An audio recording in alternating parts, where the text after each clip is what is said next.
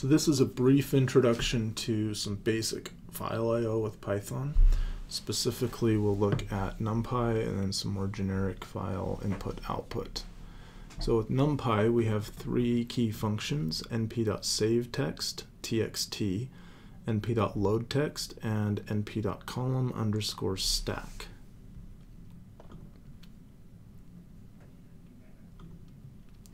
So first we'll create some data. We have an X array, X is linspace, 25 points from 0 to 10, and then three Y corresponding Y arrays.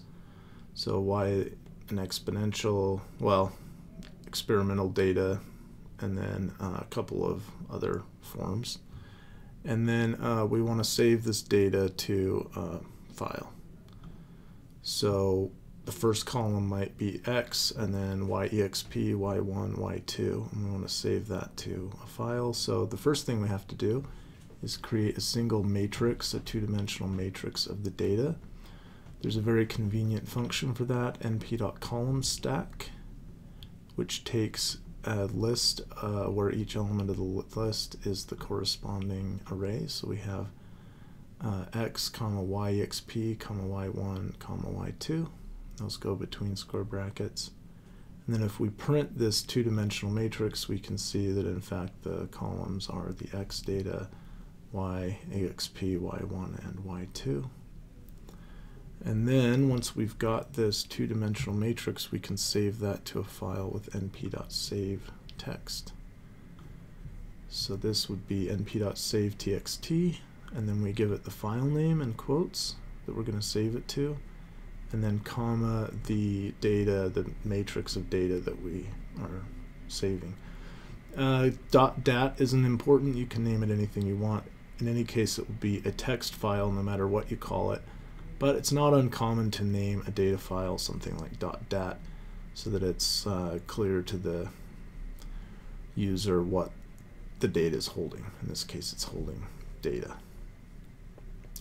You can add extra arguments to the data command. So if we if we look at this, let's comment these out.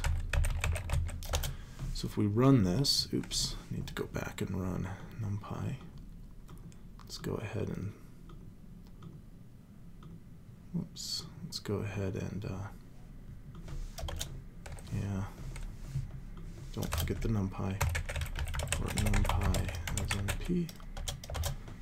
Okay, and then run, create the data, save to a file.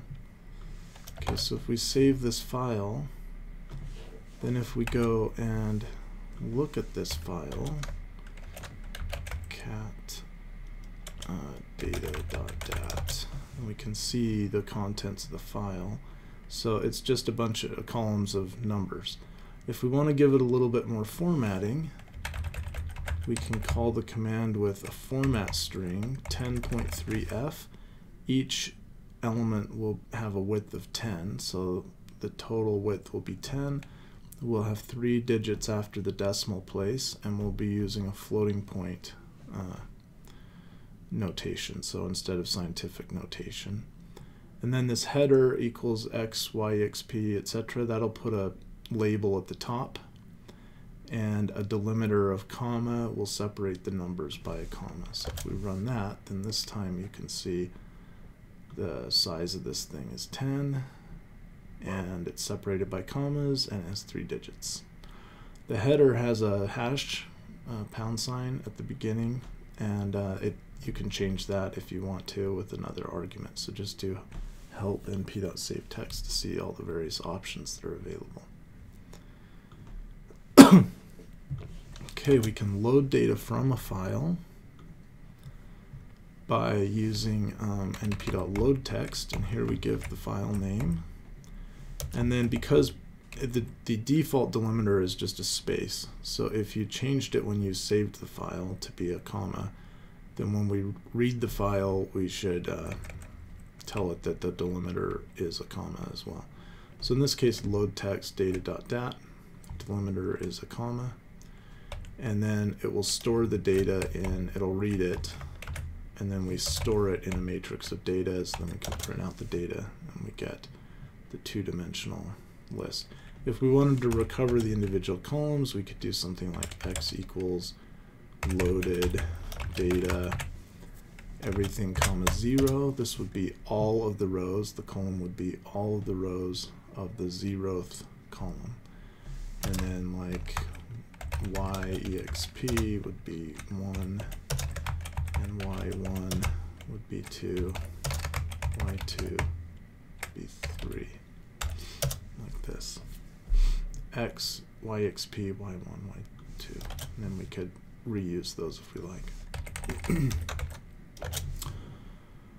Okay so we can do some more generic those, those are simple basic IO with NumPy and there's a whole bunch more you can do that's the basic idea. We can use more general file I.O. Um, uh, so we'll first look at input. so if we take a file, uh, we can open a data file, open data.dat, the open function. Then we give it the name of the file, and then this quote R, and the R is for reading. We're going to read from the file. And then we store the file is stored as a file object called ifile. And then we can tell the file to read a line, so ifile.readline. And that will read the first line of the file and store it as uh, variable s. So when we print s, we get the header that we printed that we did before. And then we can read the next line of the file, ifile.readline, and that will read the next line of the file, store that in this s. These are strings. s is a string, so the whole line is stored as a single string. And you can see that if we write um, type s, it's a string. So you'd need to convert it explicitly if you want to recover numbers from this thing. Um, we'll look at that a little bit more. Once we are done with the file, so we opened it, when we're done with it, we can close it, so ifile.close. So open it, read lines, sequentially and then close the file. Uh, if you want to get all the lines, you, there's the read lines. So open the file, and then lines equals ifile.readlines with the s, and that'll make a list of lines.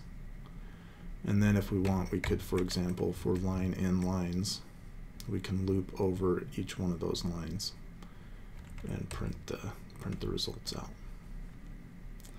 So here we're using with the print command end equals quote because uh, when we pull those lines in, the new line is included in the list. So if we did a, if we didn't have this, we just did that, we'd get two lines because each of the lines already had a new line that was in the file.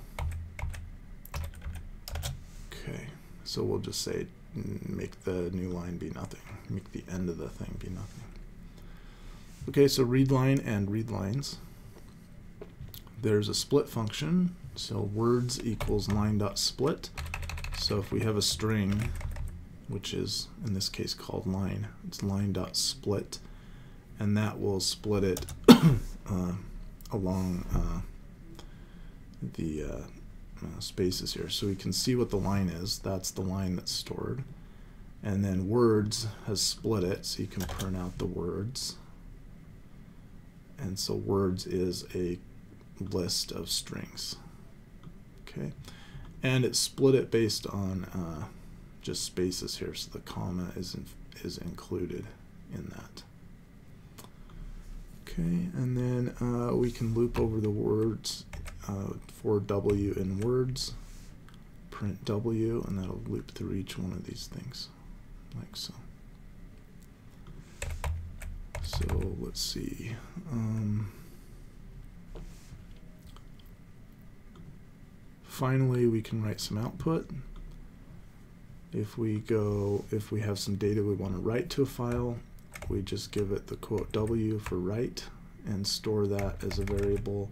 So this O file will be an output file object. You can call it whatever you want. I file makes sense for input, O file for output. and then we can do O file.write a string, some header, ofile.write, some new line, ofile.write. This isn't a new line um, because we didn't put a new line in there.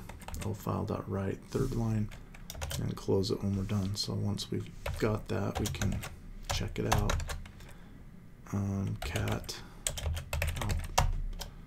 output dot dot, and you can see what was what was written by these commands. So just a few basic uh, processes here. Okay, that's all.